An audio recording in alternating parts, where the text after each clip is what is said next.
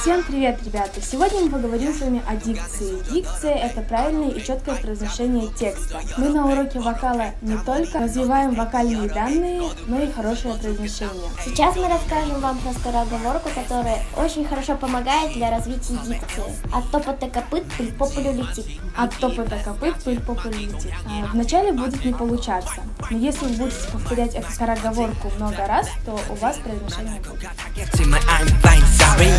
미안해 빌보드 미안해 월화 아들이 너무 잘 나가서